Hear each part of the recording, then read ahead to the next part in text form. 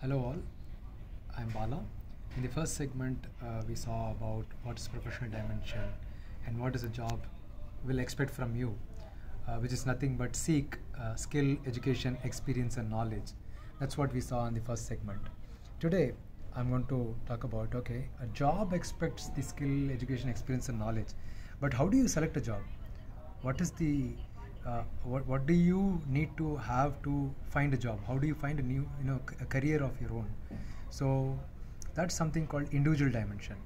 So an individual has to have certain dimensions that will match with the professional dimension that you want to choose to.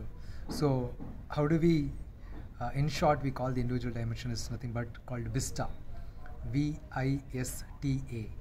It's nothing but value interest strength talent and attitude. So every individual have a value and the value that i have should match with the value that the profession i choose. Say for example i have a value that i cannot talk bad about somebody or i cannot be uh, aggressive on somebody. I cannot beat somebody or i cannot really be forceful on somebody.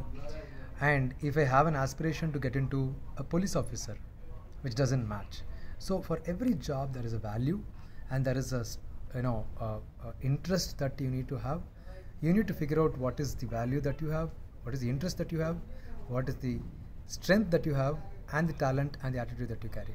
So with all these things you analyzing what is your vista and look into the job that you want to get into. If your vista matches with the job's expectation then that's the right job for you. At this moment when you're in a graduation phase or in your last years of the school you may not be able to really figure out like what is my right job. Probably one two three.